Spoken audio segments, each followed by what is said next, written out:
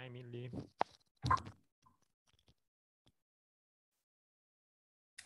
Hello. Let me- yeah.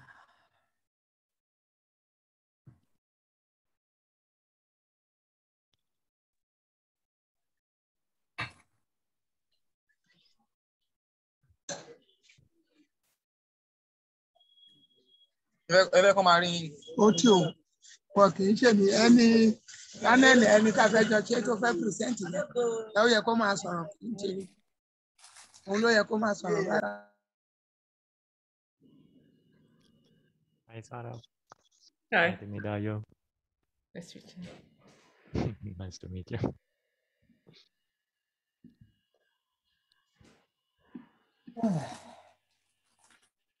Let's wait people for, to Sure. come.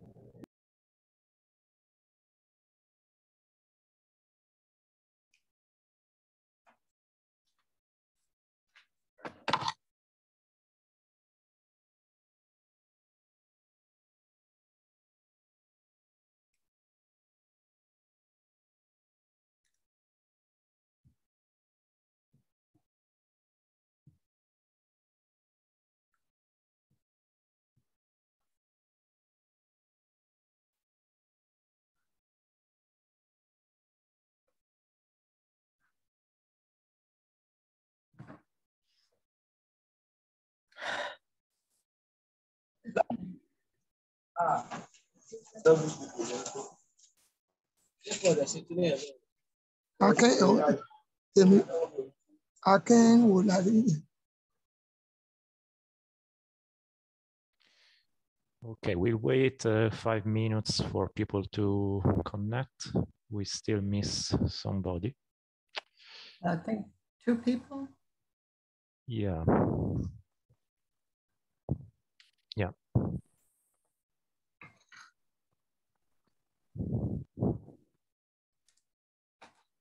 Hmm.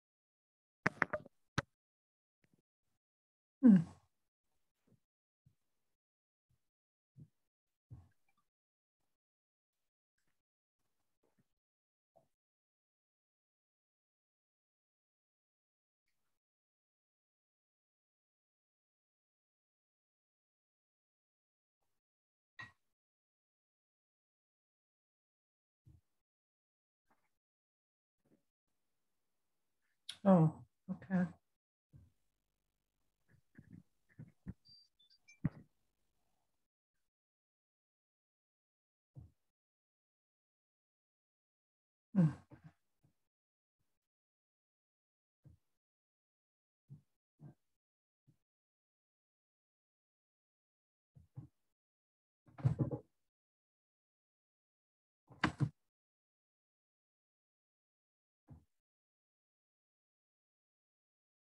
I have to get back to um,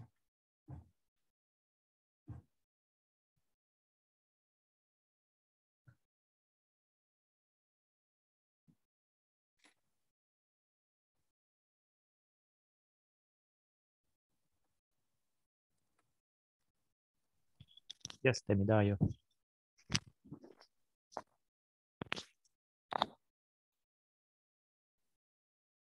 hmm.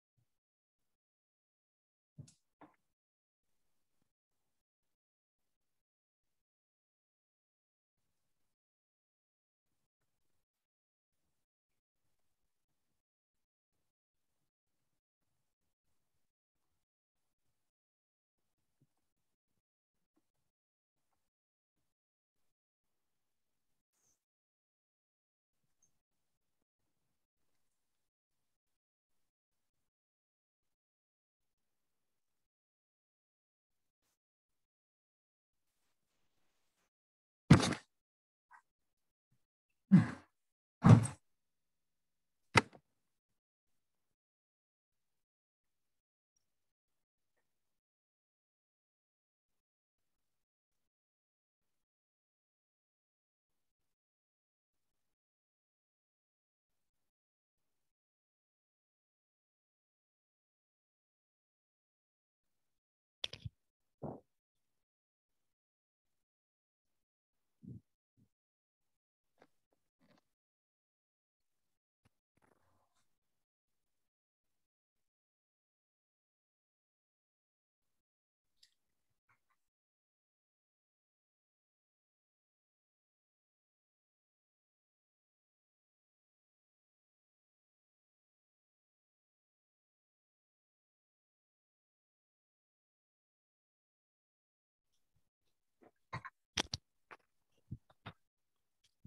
Okay.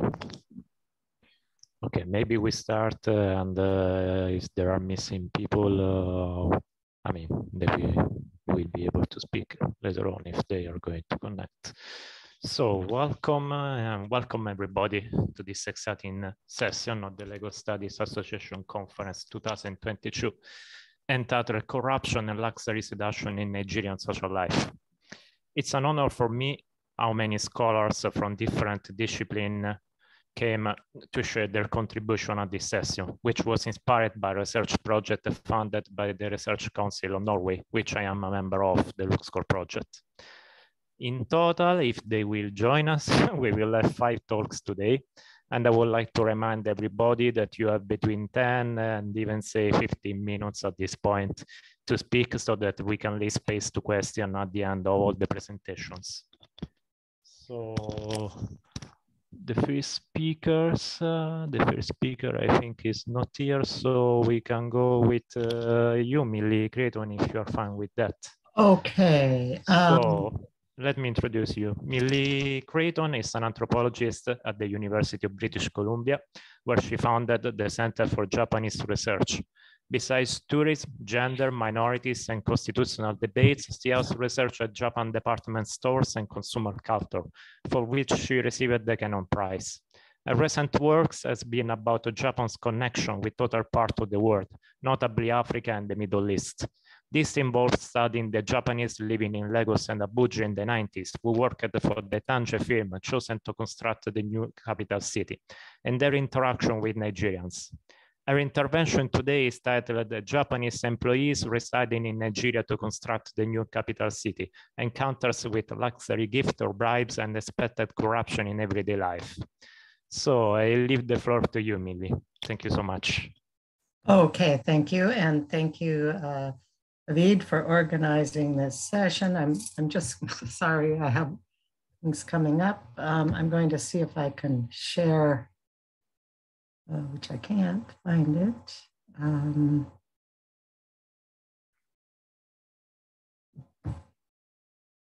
not that. And if not, I'll just um, talk first.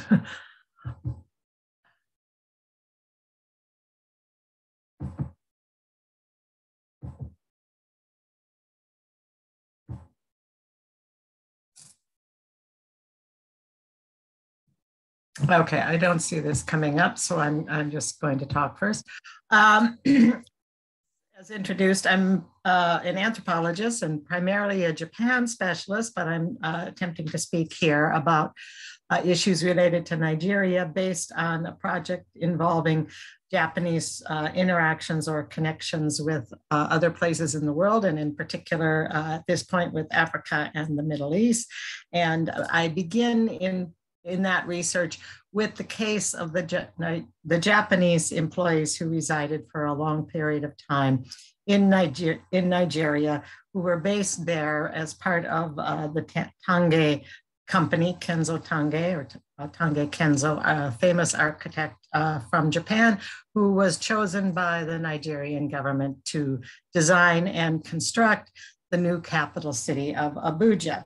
So for the Japanese employees that were sent there, many of them spent several years, um, really starting significantly in the 1980s and leading into the 1990s in some cases.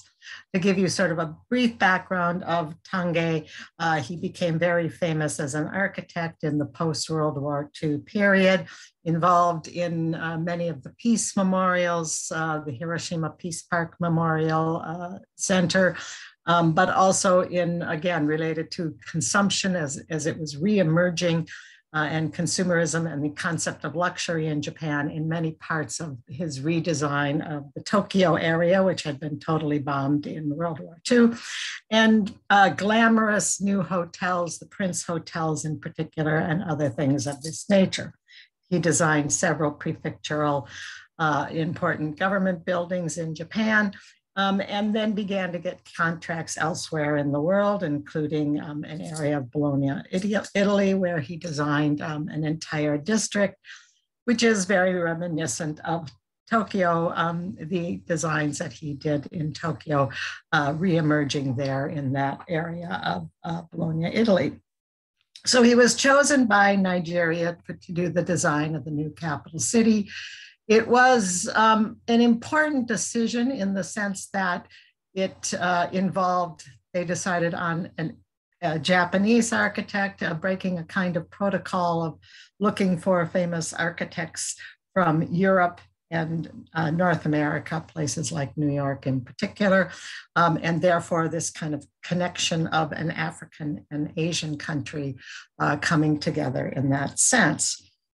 The employees that were sent, as I said, resided there for several years, and um, uh, it, it's an interesting time frame to compare it with now because it was uh, predominantly in the 1980s at a time when uh, Japanese were, were, were getting more and more interested in traveling the world and seeing the world, but not Africa. So uh, this was not sort of a desired place for them. They wanted to go to Europe, they wanted to go to the United States, maybe Canada, Australia, New Zealand, countries such as this. So it was generally all the male employees that were sent, either single men or married men, but not with their families. Wives tended to not want to go uh, to those locations and thought of them as possibly dangerous.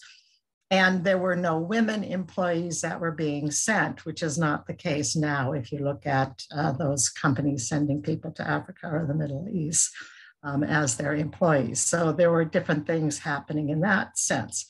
It was also a time when I think for those Japanese living in Nigeria, uh, there was perhaps a strong sense of culture shock initially, a very different culture that they felt that they were encountering in terms of daily life in Nigeria uh, compared to Japan. And Japan, as they perceived it, a very organized, efficient, rule based sort of society. And all that kinds of things seemed to be happening in, in Nigeria as they understood their experience. And many of them had a great deal of difficulty with that and some of them didn't like it at all. But among those employees, and I'll say that I, I knew many, I knew them in, in the 1980s, I knew of this project as it was going on. Um, there were those who initially felt that way, but as they lived in Nigeria and got into the lifestyle, grew to understand it better and grew to enjoy it. And in some cases, felt very disappointed when they went back to Japan and felt that everything kind of went along in a very customized, but also somewhat uh, boring way after their years of living in Nigeria. So part of this is dealing with the idea of uh, their experiences, what with what were corruption or what they felt like was corruption, and that in differing ways. Um, and so from their basis coming in, certain things that seemed like uh, clear corruption, and I think are part of the concept of modernity and understood in that way now, but might have in pre-modern forms been more accepted. Uh, prominent among them, the idea of the dash in order to facilitate getting things done, paying people to sort of help you along, including the government officials who supposedly are not supposed to be involved in that. So it's a kind of taking of bribes. And this was very customary, and they all learned that this was involved. So to them, that was a very uh, corrupt process because it would not be expected of official government processes in daily life. And indeed, it wasn't supposed to be happening. But for example, uh, paying the dash when you come in and out of the borders by slipping money into one's passport to get uh, entry permits to come into the country or get your passport stamped so you can enter. Well, this was expected and uh, and they kind of learned to do it, but they had sometimes strong feelings towards that. Uh, one of the Japanese employees in a kind of uh, higher position in that he went between the company and the other employees in Nigeria uh, mentioned that at one time he decided he was going to try to thwart this process of paying the dash. So he spent a great deal of time at the border uh, with the immigration official and had given him his passport. Of course, the, the official cannot say he expects to get paid this money in order to process the passport. And the Japanese employee knew that that's what he's waiting for, but he just acted as if he didn't. And this went on for some time. And eventually, the official decided he was going to let him through without paying the dash and did that. Uh, uh, so that after he got through, um, um, he was kind of glad he succeeded in, in this process, even though it took him a long time. And two Japanese employees from another firm um, had actually come to pick him up at the airport. And once he got through, they realized he had not paid the dash to the official. So they ran over to that person and they handed him money. So he felt like he was rather thwarted in his attempt to, uh, by his by fellow Jap- these fellow Japanese in his attempt to sort of try to not pay the dash and facilitate that going on. So those kinds of things struck the employees as sort of clear examples of corruption because they are defined as outside of the realm of of modern rationalized bureaucratic expectations for officials or government employees. Uh, whereas, um, you know, in other categories of occupation, people might pay tips and things, and it's not considered a bribe for those types of employees. Um, that's not the case. But then there were other cases that involved this issue of the boundaries between gifts and bribes. And this is where things got very interesting, and particularly again in looking at the context of Japan in the 1980s um, and Nigeria, because gift giving was very customary in Japan. Of course, it's very big all the time as a gift giving culture. Um, and Japan had risen economically to the peak in the 1980s, and it was the so called bubble economy era. So customary gift giving became very elaborate and very expensive, and it also went to higher ups. Um, so you're giving to people in higher categories. Um, uh, in, in higher categories, and therefore, um, is there something I need to turn off? I didn't quite get that. Um, in higher categories to not necessarily to facilitate what you want done, but often in order to uh, not be one left out of giving these gifts. So they would go to people's superiors at work, they would go to your children's teachers, they would go to other people considered prominent. Um, this was expected. It wasn't considered a bribe, but at some point, these were actually getting to be so expensive and so involved in Japan that it began to raise issues. And there were cases uh, there were scandalous cases in which people were suggesting, okay, this isn't a, this isn't, these aren't gifts anymore, they're bribes, particularly the Lockheed scandal. Uh, that brought about a kind of uh, re-evaluation of the whole gift-giving process in, in the relationship to brides, which continued actually in decades after that. So, uh, so because this kind of was embedded in Japan, there was also the process of bringing luxury goods to government officials as, quote, visiting gifts. And again, another uh, Japanese employee to give an example of this. This is someone I knew quite well, and I knew when he um, finished his job in Nigeria and was back in Tokyo in the end of the 1980s. Um, you know, he was often sent by the Japanese firm, either from Japan or from their offices in Paris, to bring luxury goods to give as gifts when he visited government officials. Um, so Uh, so he was doing that, and these would be very expensive items, you know, very expensive watches, Rolex watches, cameras, purses, all of these extremely expensive things. Um, initially, he never thought of this as problematic or corrupt or bribes. They were simply, you know, expected gifts being given uh, to officials by by the company, not by himself per se, but he would be the one transferring them. Um, these were also very desirable at the time, I think, within the Nigerian context, because they represented exactly the brand name luxury goods that people aspired to have, um, and therefore were being received in that way. Um, so it wasn't just the expense of them, but what particular they were and what they represented. But um, he did mention he did have at some point concerns over his own personal safety carrying these goods.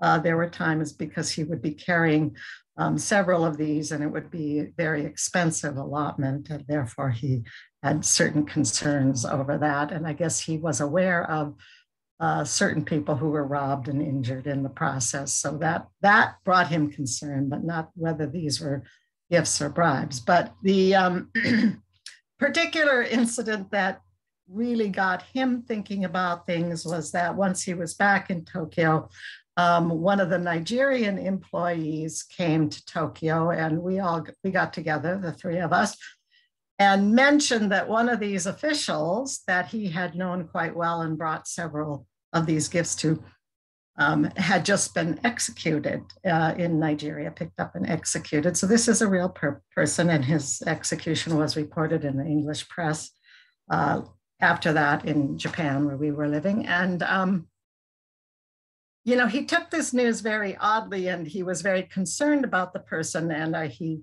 told me he really hoped nothing happened to him, that this would go away and he wouldn't be killed. And I uh, his English was very good, so I knew he should have been able to understand executed as a past tense word. And I said, no, he's he's been executed. And he was quite upset by this, and I think grieved because he had visited this person several times and thought he was quite personable. And the person had written poetry and maybe a, I think a children's book.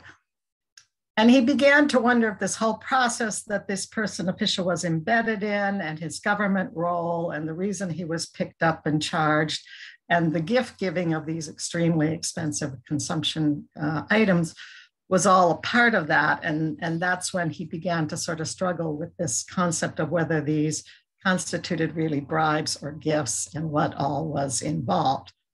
So I think I'm, do I have time to try to show some images, David, or am I out at this point? I think uh, well, we are still missing people, so you can take. Uh, Okay, well, I had some images, but You should be able to share, yes. There is I, a button uh, here on Zoom on the right. this does not come up right. when I, when I hit my share screen. The others come up. Wait, wait, wait.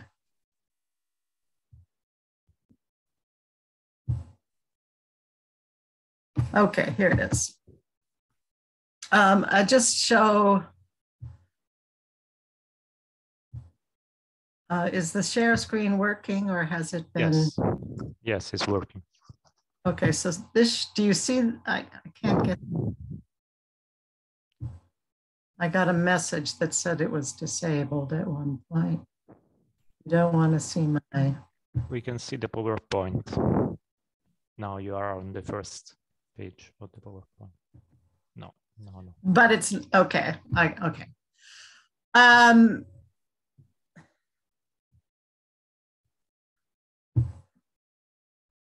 So for those of you who are not um, familiar with Tange and his work, as I mentioned, he sort of emerged into prominence uh, after World War II. He was just finishing his architecture work and he was assigned the building of uh, many of these peace memorials. This is the Sorry, Hiroshima. now is no more share it. Uh, you're not seeing it? No. Yes, Yeah. you. Okay, then I think I'll skip it because it seems to me it should be up.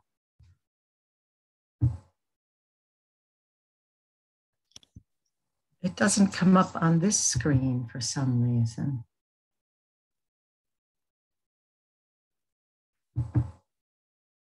Okay, well, I can't get it uh, to come up, so, Okay, now we see your desktop.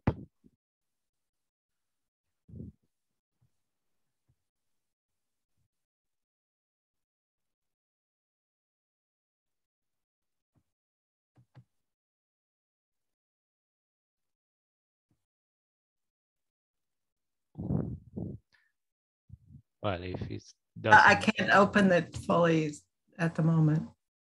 okay. if it doesn't work, we can Yeah. Uh, maybe we go back to that later on. I- I'm not sure. I'm not on this to open. Remove. No.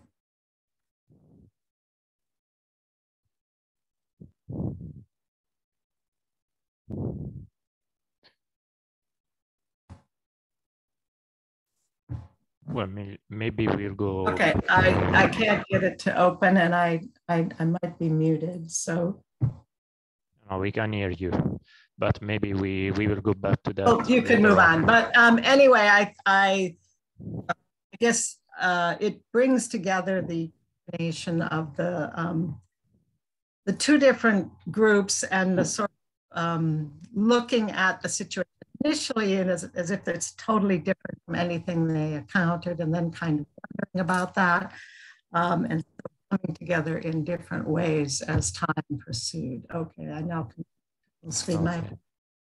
All right, thank you. All right. Thank you. Thank you so much. Uh, I would say thank you so much again, uh, since it's not the first time we see uh, for this insight or contribution which showed us the interaction with foreign companies in framing Nigerian corruption dilemmas. Uh, so also our next speaker is not here, so we move to to our next speakers. I don't know if they are all here, but it's a collective contribution. So I would like to introduce uh, Temidayo Akin Akinrola, which lectures in the Department of English Studies, McPherson University, Ogun State, Nigeria. Its area of specialization include forensic discourse studies, pragmatics, and text linguistic. I don't know, uh, Temidayo, if you are alone or, if there with you there is also Innocent and uh, Raifu, if they are. Maybe I'll introduce also them. Oh, I'm alone here, sir. Okay, but the contribution is by of all the three of you, right? Yes, yes. Okay, okay. So, um, well, I would also like to introduce Innocent Ariremako, who teaches in the Department of Linguistic and African Studies, Federal University, Oye-Ekiti, Ekiti State, Nigeria. And uh, finally, theoretically, this contribution is also by Ra- Raifu Olanrewaju Farinde, who lectures in the Department of English and Literary Studies, Federal University, Oye-Ekiti, Ekiti State, Nigeria. And uh, their collective intervention today is titled The Woman in Crime, a reader response analysis of Femi Osofisan's and Once Upon Four Robbers. So I leave the floor to you and uh, well, you have uh, 15 uh, minutes. I mean, there is time. Thank you so much. Thank you very much. Uh, Femi Osofisan is a, is a famous playwright in Nigeria who articulates social, political, and economic challenges of the Nigerian environment.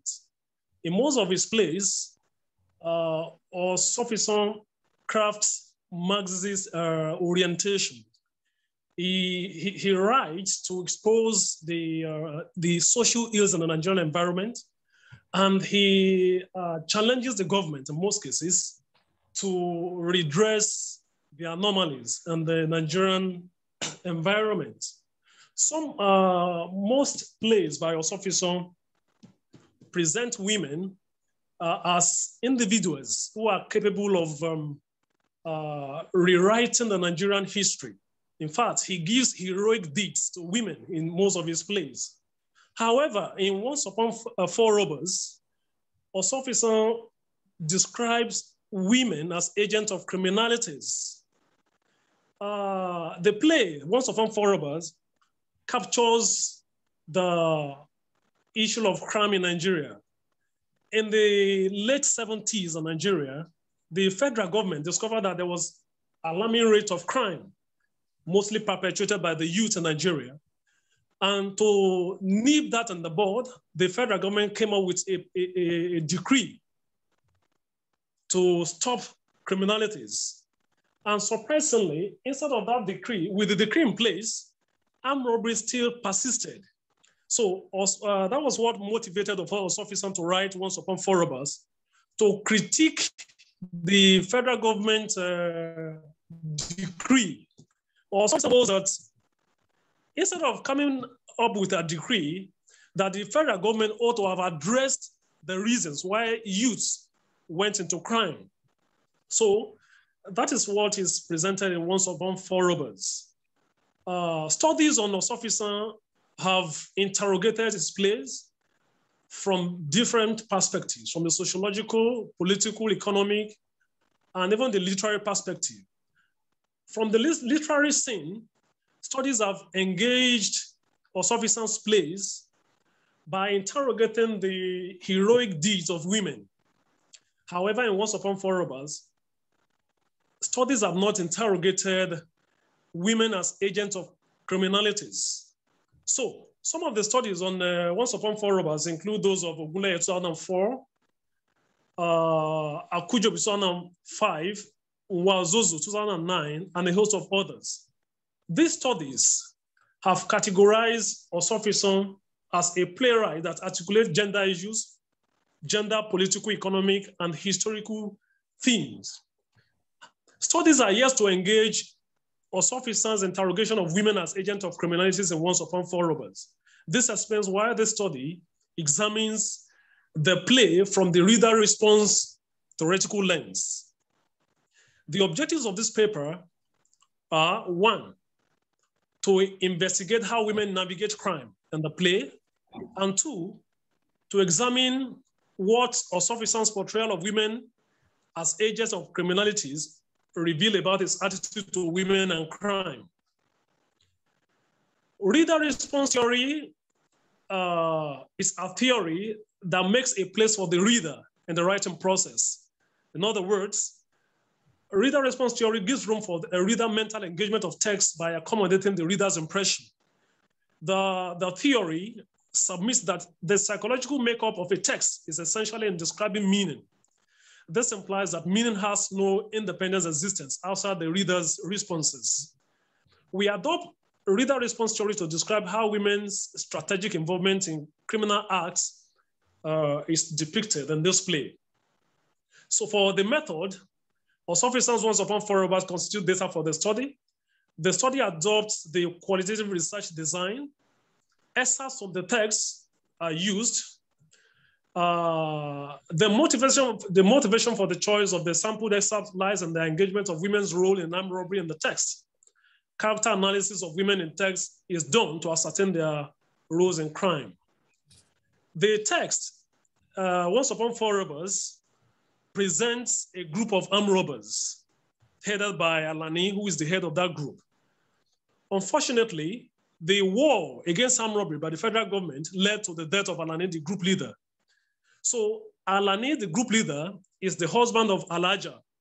In the Nigerian context and the Yoruba context, Alhaja is uh, a religious woman from the, the Islamic uh, religion. So uh, Alhaja becomes the head of that group. The group consists Alhaja, Major, Hazan, and uh,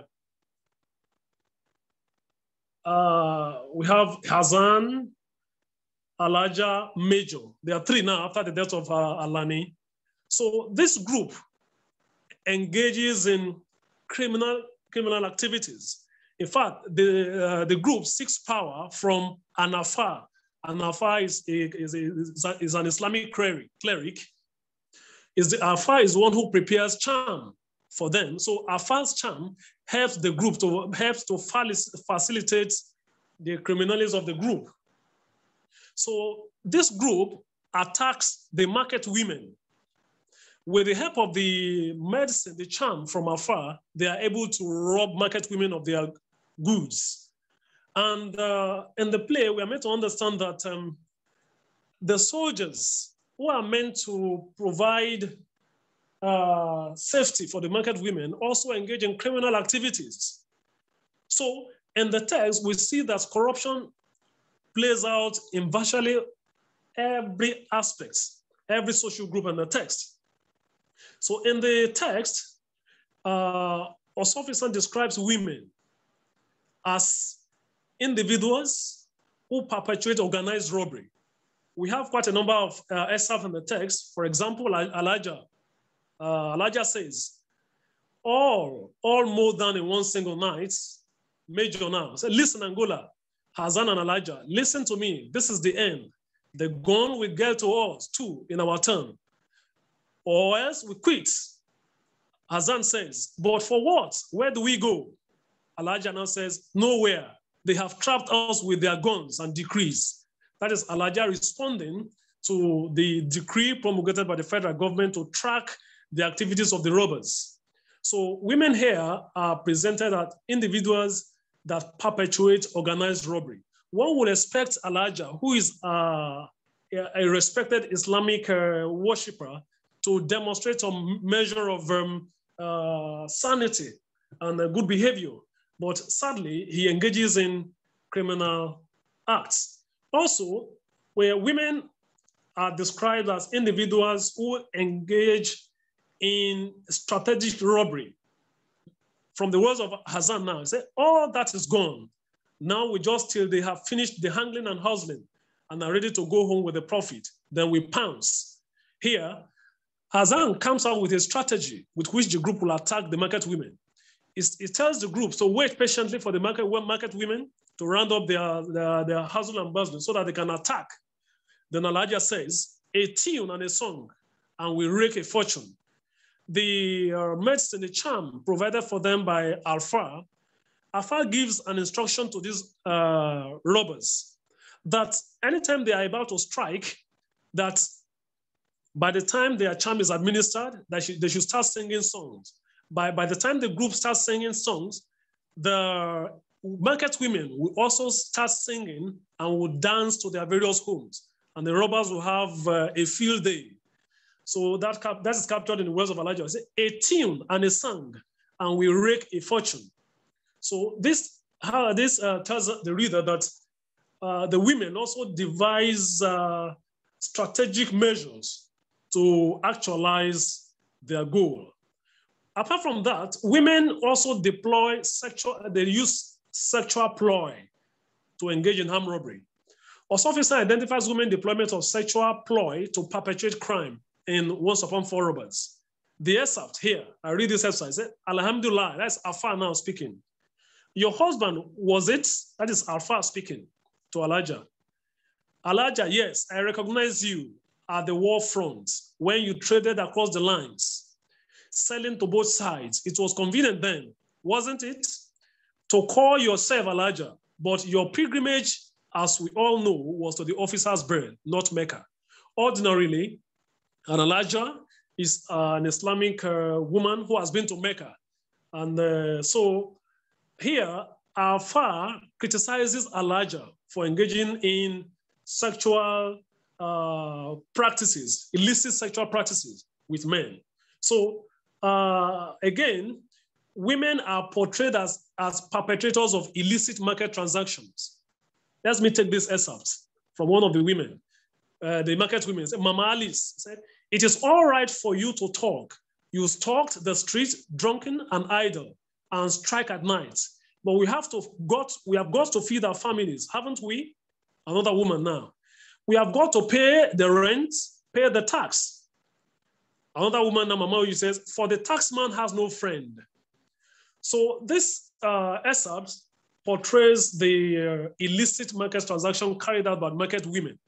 Some of them uh, inflate the prices of goods and services at the detriment of the consumers.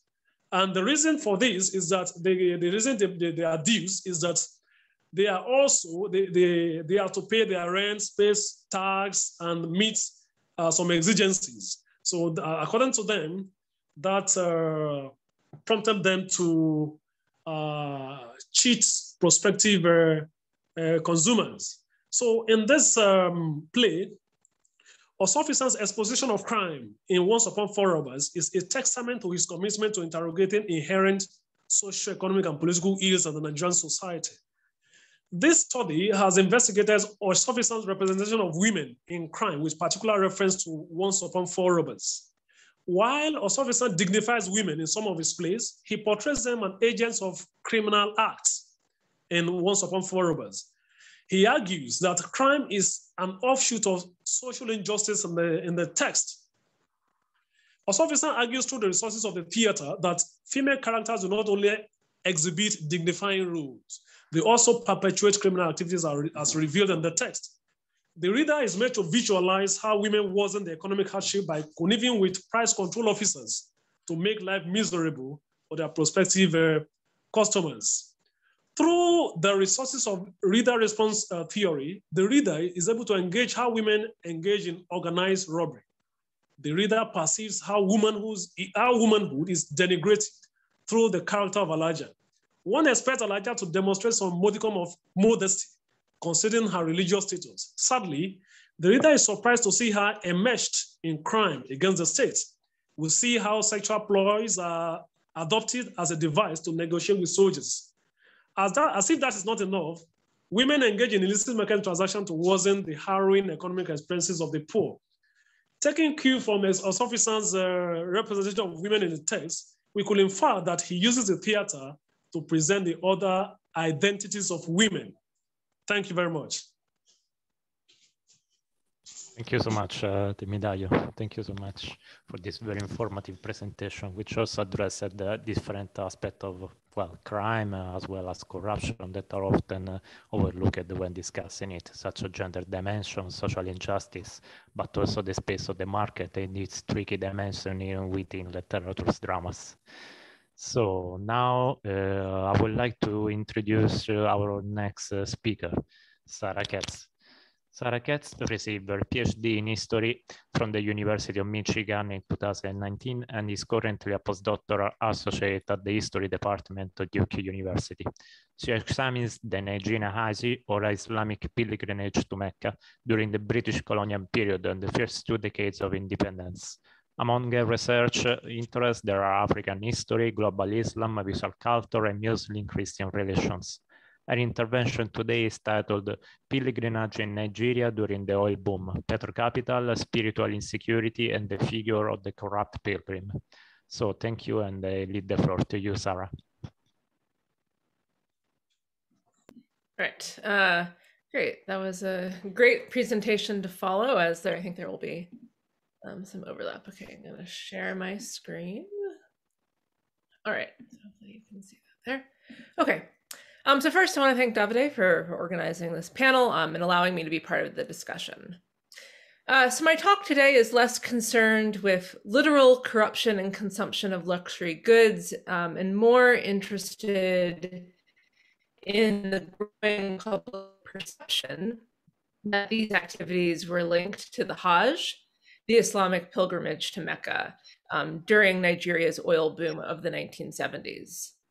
I'm interested in thinking about kind of why this perception came about, uh, how different Nigerians reacted to it, and how this perception shaped pilgrim behavior.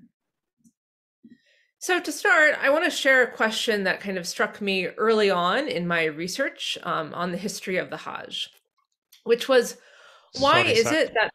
Oh, We should, uh, um, you should check your sharing screen because we can see the presentation, but we can see also your script.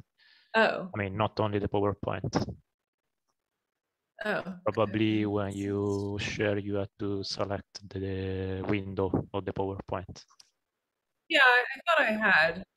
I, I share. I selected Microsoft PowerPoint. Is it not Microsoft PowerPoint? no yes, Okay. Um, all right. sorry. Um, so to start, I want to share a kind of question um, that struck me early on in my research um, on the history of the Hajj, um, which was why is it that the kind of the first truly national Muslim stereotype uh, that is legible across ethnic, religious, and uh, regional boundaries is the figure of a kind of powerful and sometimes corrupt Alhaji or pilgrim? Within my own research, um, I've found mention of this figure in newspapers and literature um, from the North and South and Southwest, um, as well as uh, in music. Um, so, for example, like a few songs by Fela Kuti uh, that depict Alhajis as greedy and you know with wealth and power.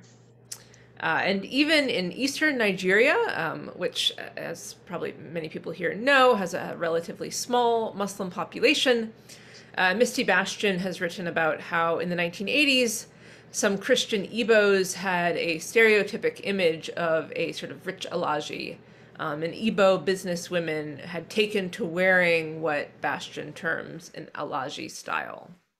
Um, so my initial question here was sort of why is it that kind of what would appear to be the first na- national Muslim stereotype? Why is it linked to the Hajj and you know not some other aspect of of Islam? So to answer this question, I think it will help to, for to give a bit of um, historical background. Um, so my first point in this regard is that uh, in the 1950s and 60s. witnessed uh, sort of the collectivization a bit of Nigerian Muslims. So I, I say I quali- want to qualify it uh, in that certainly um, ethnic, geographic, and sectarian divides remained. Um, but it began to be possible to talk about Nigerian Muslims or Islam in Nigeria. And I mean, you, you see sort of for the first time this period, you know, the term um, Nigerian Muslim um, start to come up in, in the press.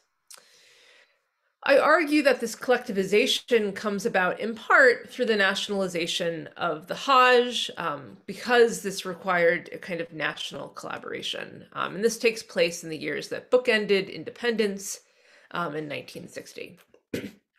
this was a project largely embarked on by Muslim politicians and other elites in the northern and western regions. Um, although there were also some Christian politicians as well who got involved for sort of, you know, political reasons. At the same time, um, a new shared aesthetic that sort of blended piety and power got adopted by Muslim politicians in the North and Southwest, um, with what I'm kind of referring to as the Mecca uniform, uh, the white robe and black cord um, common to Saudi Arabia.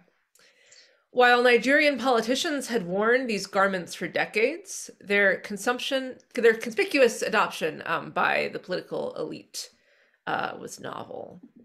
Um, so here is kind of maybe the most uh, striking uh, example of this that I've found. This is the front page of the Daily Times the day after Abubakar Balewa uh, won the election for prime minister in 1957.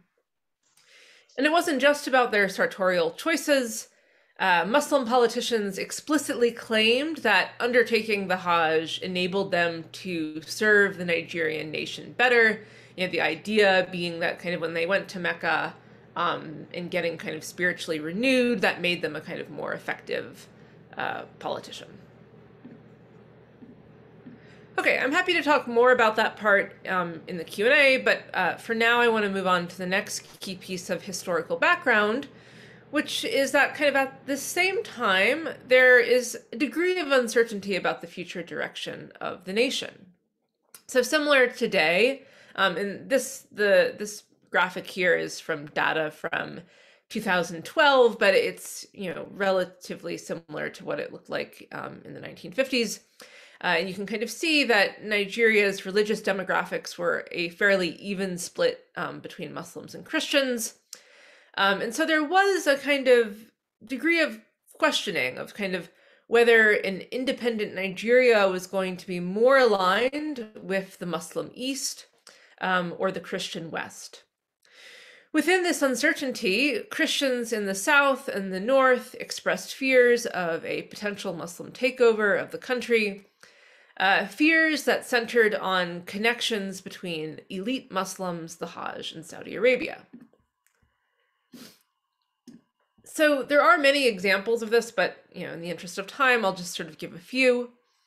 Um, so one widespread rumor concerned the Islamic Con- Congress, an international organization that was founded actually um, during the 1954 Hajj um, by Egypt um, with support from Saudi Arabia.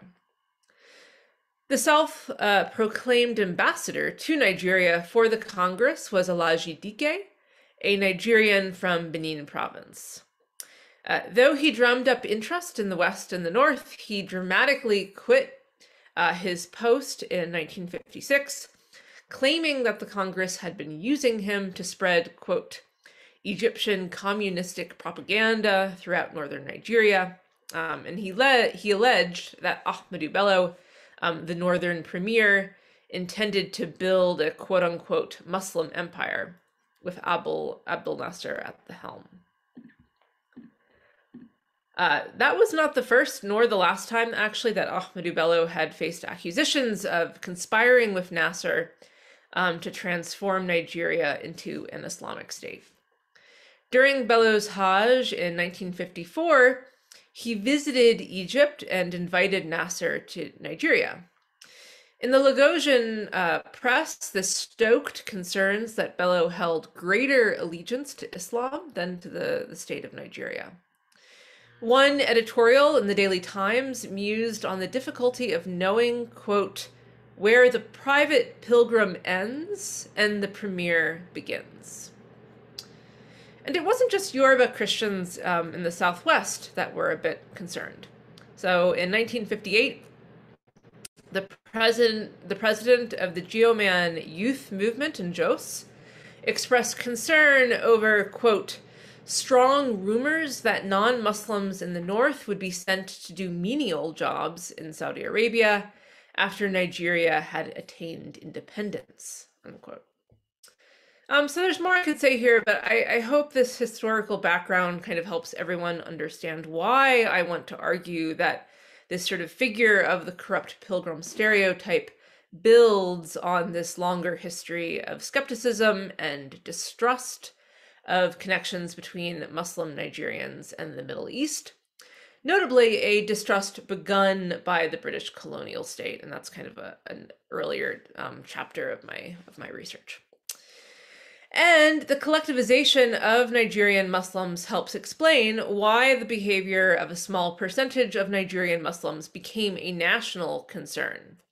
You know, in my research, I have found debate uh, debates over pilgrim behavior going back until the 1920s, but these debates were always kind of more local, localized. You know, they would be, you know, Muslims in Ibadan, you know, having a debate, but not, you know, on a kind of national scale. It's only after independence that they become national.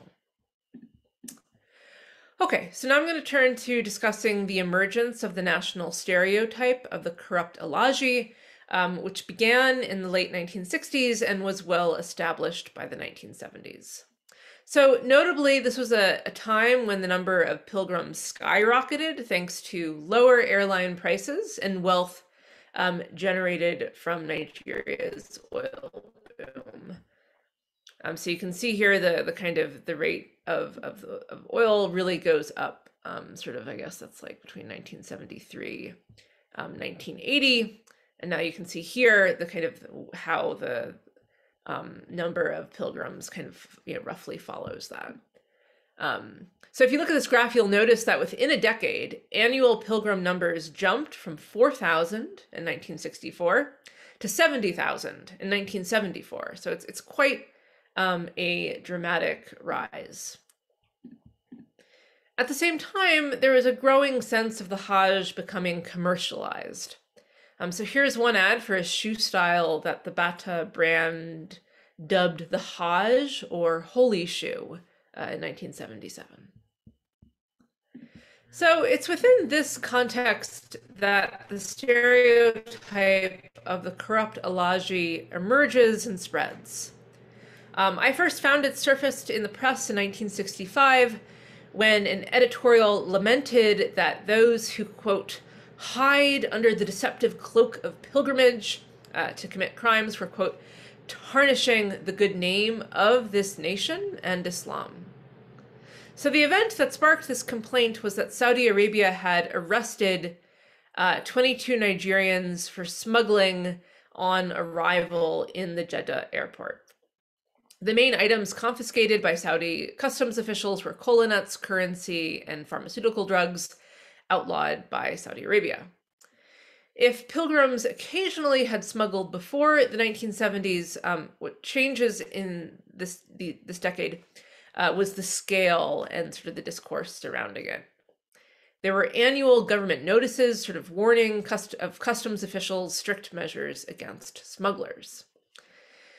And these official warnings had sort of clearly damaged um, pilgrims' reputation. In 1973, one Muslim op ed writer from Ibadan claimed that the majority of pilgrims went to Mecca to trade or smuggle, and an Islamic news column decried the quote unquote smuggler Alhaji. Commenting on the Mecca uniform, one cleric argued in their column that to be an Alhaji required, quote, much more than mere dressing, um, and that in kind of engaging in such activities negated the spiritual value of their Hajj. A regular Muslim citizen made a similar argument in a letter to the editor. Christians also weighed in, um, with one in 1974 remarking that the Alhaji title meant, quote, there goes a smuggler. There was also a kind of emergence of a new convention of news reporting, kind of that amplified these critiques. So, as you can kind of see here, in the 1970s, headlines concerning anonymous Alhajis committing crime became commonplace within the Western regional press. Though this genre of headlines existed um, by the 1960s, it, it rarely appeared. But by the 1970s, even occasion, an occasional reader of the regional dailies would be greeted with headlines like Psychedelic Alhaji Weeps to Jail. Uh, popular culture, um, such as sort of music um, and literature, uh, also kind of amplified the figure of the corrupt pilgrim. At the same time, uh, critical voices against the Mecca uniform emerged in the press. Several commenters, uh, both clerics and ordinary Muslims, framed wearing the Mecca uniform as separate, if not opposite, from pious behavior. In 1973, uh, the president of the Muslim Association of Nigeria bemoaned that, quote, we have become Alhajis and Alhajas whose faith is measured by the amount of gold we can smuggle during pilgrimage and how many makawiya and Aga Sharif are on display in our show glass cases in our house. At the same time, Nigerian politicians stopped carrying out official duties while dressed in the, the Mecca uniform. As that last point hints at, um, the other pilgrim behavior that came under fire during the 1970s was consumerism, um, particularly consumerism of luxury goods. Critics of the pilgrimage uh, complained that because pilgrims took Naira out of the country, it was a drain on the national economy. Um, for example, one person claimed uh, in 1973 that the Hajj resulted in, a, in at least 12 million Naira leaving the country. And, you know, while he agreed that the Hajj was fine for the pious, he alleged that most of this currency drain was done, quote, under the guise of religious worship.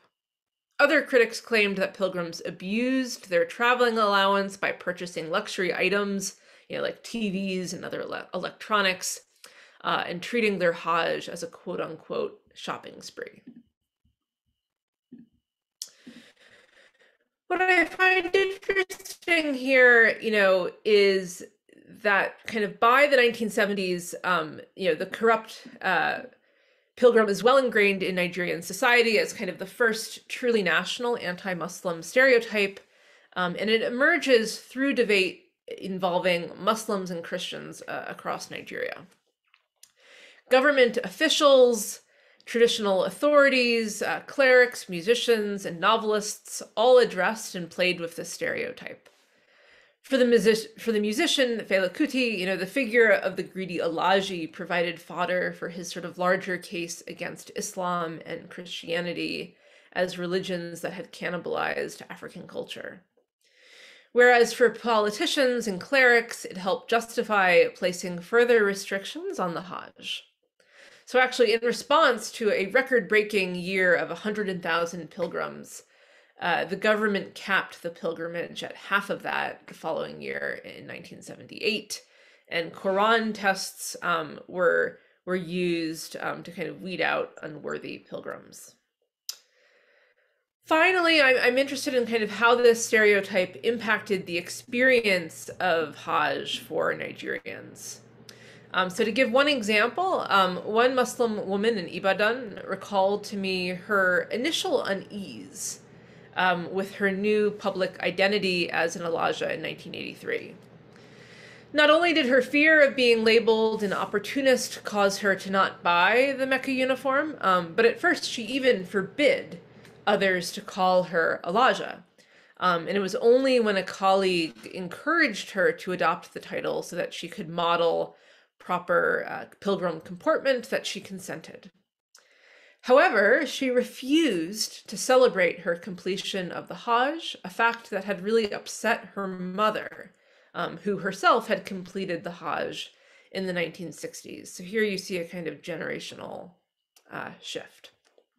Okay, so to conclude, uh, I want to suggest that you know what I see is the potential significance of this history.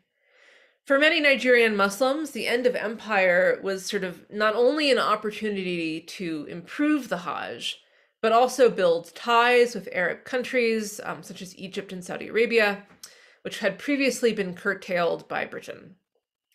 Christians, for their part, continued to associate the Hajj um, with a risk of ideological contagion, much like the British had done.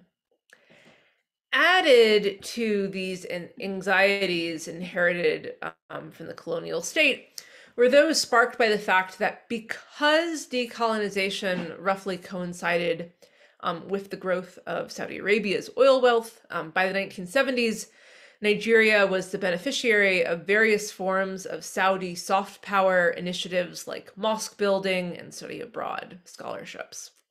Um, and so, while I certainly think that the roots of present Muslim Christian te- tensions in Nigeria can be traced to colonial policies more broadly, um, you know, I think partic- particularly the fact that you know the North and the South were administrated um, separately for for much of the time um, I think that sort of these broader global histories of the Hajj have also contributed um, to religious tensions. Um, although, you know, this is an argument I'm, I'm still um, developing a bit, so I'm open to any feedback people may have. All right, thank you so much.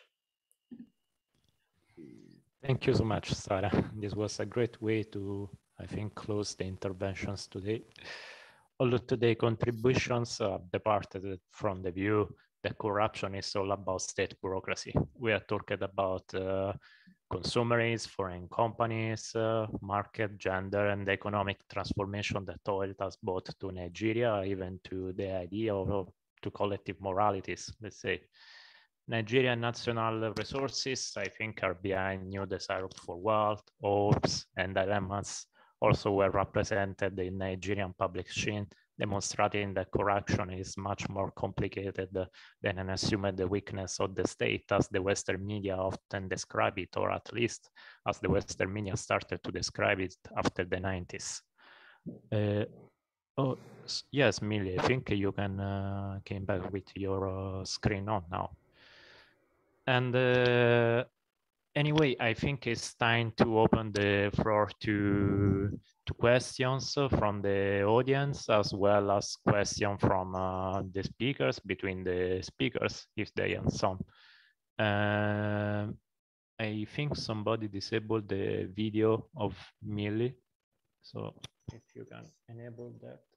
I can ask a, my, uh, I can ask a question briefly. Yes, yes. Um, sure to to Millie. Um, I guess I, I, was wondering. So you know, one thing that I was thinking about, kind of uh, while you were giving your talk, is sort of the the, the, the context of the 1980s in Nigeria as this time of oil bust and sort of austerity, government cost cutting. So, you know, for a lot of these sort of government officials that are maybe asking for a dash you know, it's quite likely that they haven't been paid their salaries, uh, you know, for yes. months. And so I was yeah. wondering kind of how, much were, um, you know, these Japanese architects and, and, and whatnot, how much were they kind of aware of the broader kind of uh, you know, political economy at the time? Um, and how did that kind of inf- impact how they kind of experienced the, the dash, I guess? Um, well, I think when they arrived, they were not, uh, they were, some of them were architects or part of the design crew. Uh, and then there's a large number of just employees, and they're mostly a lot of people working on construction and other things. I think many of them arrived without much understanding of Nigeria or Africa at all. And, and, and uh, and as I alluded to, there were sort of lots of um, preconceptions and I think stereotypes within Japan at that time that I don't think necessarily exist now related to Africa. Um, so I don't think they understood that. And I think from their point of view, this was a clear example of something that should not be happening. Although, you know, in my conversations with some people, you know, we could talk about yeah, well, you know, if you have other kinds of jobs, it's not unreasonable to expect uh, that you know you get like tips right? And maybe this is how this is conceptualized you know if you you you can get this extra payment. So i don't think they would have been aware of that. I think they were aware of lots of other you know i think they quickly became aware that you know the employees at the entry lines um, were that there was a lot of corruption surrounding sort of the whole government um, and all of these activities. Uh, the example I gave of this, um, the government official who was executed, and I, uh, I, you know, I, I don't know that he was any more corrupt than anyone. I think he probably was picked up as a, a person to be accused and um, put through, although uh, was really significant. And in particular, this employee, Japanese employee that had interacted with him and bringing all those questions to his mind and to the fore. But I, I would add that I very much appreciated your presentation in kind of setting, you know, also the stage for this because you're alluding to the extreme growth, like starting uh, in the 1970s and the whole oil boom and all of that, which I think led into this uh, as I understand, a big desire on the part of Nigeria to position itself um, differently on the world stage and build this new uh, capital city as kind of the ideal modern capital city and come up with this, what they felt is this, you know, famous international architect.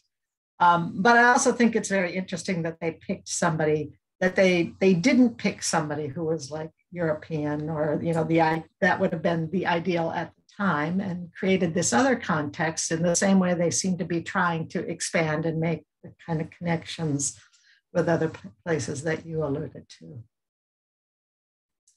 Yeah. Can I ask you one thing, Millie? Uh, people in Japan were never accused or persecuted for corruption in Africa or not? I mean, there were ever accusations in Japan about Japanese corrupting people in Africa, or they were somehow? Uh, I, well, I never heard of that. That they were corrupting people in Africa. You mean the Japanese corrupting people in Africa? Yes, and uh, in in Japan, nobody accused them of this. I mean, there was no discussion in Japan about this. Within Africa or about, within about what was happening in Africa because you know i mean right. if you try to do something like that in the theoretically i mean you can be persecuted for example in the you- united states. If you try if to you do try to corrupt people uh, in africa theoretically you can be persecuted in united in the united states itself not just in africa. I mean it's something Okay. that theoretically you should not do having a company there. So you can be accused even in your own country at least theoretically then I, I've, yeah, I've never gotten any sense that there were any Japanese involved in corrupting Africans, unless you consider this idea of bringing these luxury goods, which it it it wasn't considered at the time. I, I mean, and I think it was not within Japan that wouldn't have been considered because this would have been the kind of thing that people would have expected to go between companies doing these deals there was uh, the I mentioned the Lockheed scandal. That that was when um, I guess it was sort of the Japanese companies vying to get the air routes open certain places. It involved huge amounts of money and you know it still was being presented as oh these customary gifts. And people were saying no this is this is too far. This and that started kind of this whole evaluation procedure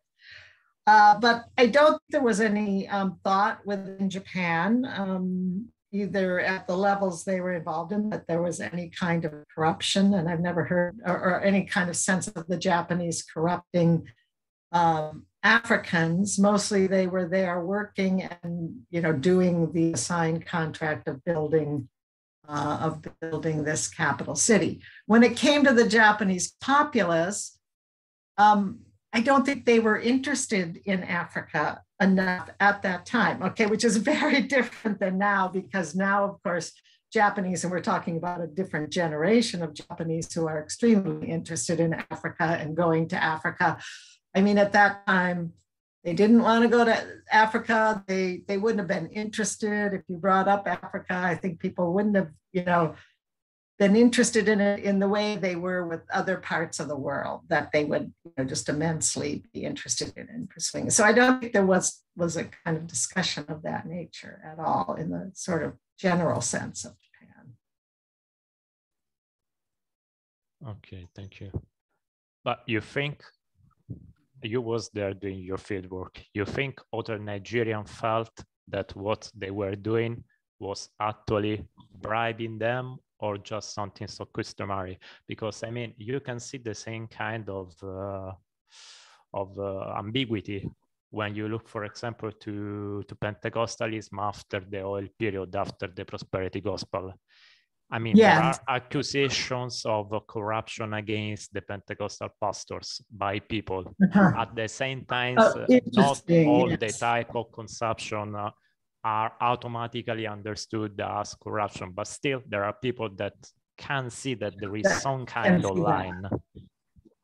Um, okay, I I was I knew these people and I knew them when they came to Japan. I was living in Japan. I knew the Japanese that came back and then lived in Japan. I knew them while they some of them while they were there, either in Lagos or Abuja. And then I knew the Nigerians who went back and forth to Tokyo and their experiences. Uh, which I didn't talk about, like the Nigerian experiences going to the, the Tange company in Tokyo. And they were uh, they were rifled with prejudices, not from the type of people that went to do the work, but more like the office staff that you know, were at lower levels, things of this nature when they came. Um, but I wasn't in Lagos, so I, you know, the gift giving went to these, you know, they're, they're fairly high individuals, and um, I think probably by that point, they might have been quite used to getting, you know, these kinds of gifts all the time uh, as part of their life and, you know, their role, and not just from Japanese, but from others and other foreign countries, maybe by other Nigerian interests that are trying to get something done. So they, they, I mean, I can't say how they would perceive it but I think they took it as kind of almost a given that they would be getting these kinds of things, and uh, uh, and therefore not unusual to getting it from the the Japanese companies. And I think they were probably getting it from elsewhere. Whether any of them recognized it as potentially some kind of corruption, you know, in their receipt of it or not, I I have no idea. But I, I'm sure they were used to it, kind of thing kind of like getting wined and dined as part of negotiations that we experience all the time. Thank you so much, Millie. And uh, okay, maybe there is a question for Temidayo. Temidayo, if you are there, there is a question for you in the chat. Okay, sir. If you want, I can read it. I wondered if Temidayo could speak to or draw connection between uh, Osofisan's representation of women in crime and contemporary representation of same in Hollywood, which is a kind of interesting question. I guess corruption is a lot also in Hollywood, in Hollywood films. In Hollywood films. Oh, please, can you take that question again? So I wondered if Temidayo could speak to or draw connections between Osofisan representation of women and crime and contemporary representation of same in Nollywood.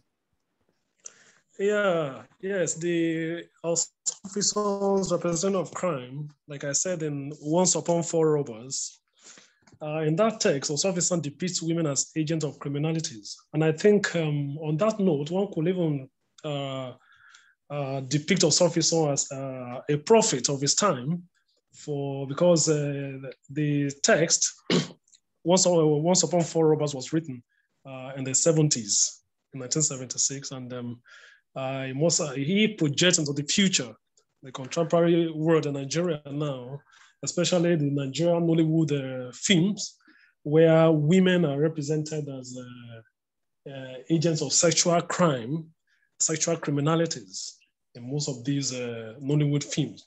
Women are projected as uh, sexual, uh, in fact, most of these Nollywood films objectifies women as individuals who perpetuate sexual crime.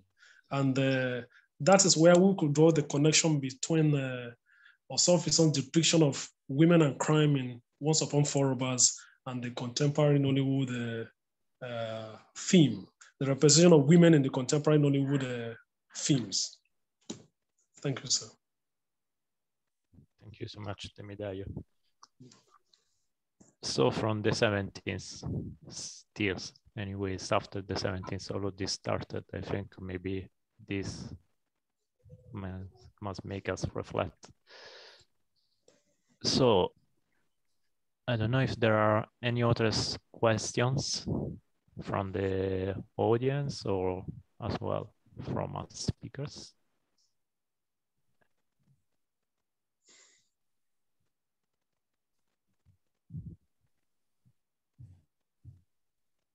Um, I, I, was wondering if I could ask, this is kind of off the wall, but Temidayo, if he if he has any thoughts about the American television show with the with Abishola and all that group of, of Nigerian women that are the predominant. I don't know if you're aware of it, but it's the Bob Hearts Abishola, in which it is um, most of the, the, the prominent characters are all women, the Nigerian characters. It's the only show I'm aware of uh, that features this idea of Nigerian characters. Um, they are not corrupt, they're not involved in crime, and if anything, they're absolutely reversed. They are sort of the honest uh, uh, women of Nigeria kind of portrayal. Um, almost no men. I mean, there is the husband uh, of one of the women, but otherwise, they're all women who you see at work or women in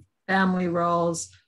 Um, I was wondering if you had any thoughts on it or that it, it's coming to prominence at this particular time in which you, this show um, featuring, uh, in particular, Abishola as this female woman, Nigerian woman character, and then all of her co-workers and family members as, as female Nigerian characters. Oh, I, I didn't get that. Okay. You, you might not even know the show, but there is this uh, current television show that features this Nigerian woman and a lot of Nigerian women on it that um, I think is, is interesting just in the way it, it has become popular for the, the overall you know, North American population to have something Nigerians, in particular Nigerian women.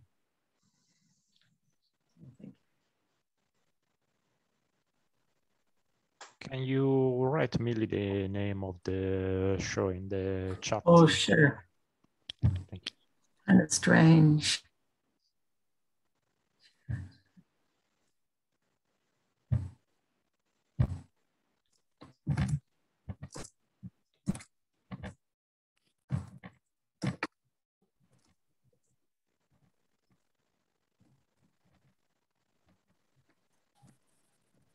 So the name of the show, Bob Hearts Abishola, woman from Nigeria.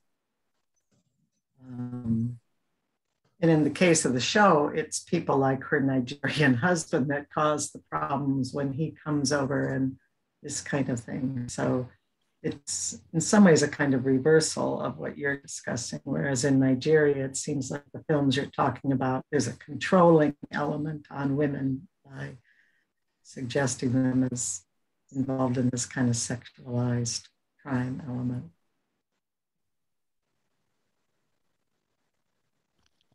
Yeah, I'm reading about it now, but yeah, I mean, uh, I'm not surprised. I mean, in Hollywood, you can find, I guess, everything and the opposite of everything. and in this case, it's uh, not even just Hollywood. This is an American sitcom, so there are Nigerians in the production, but I see also American people.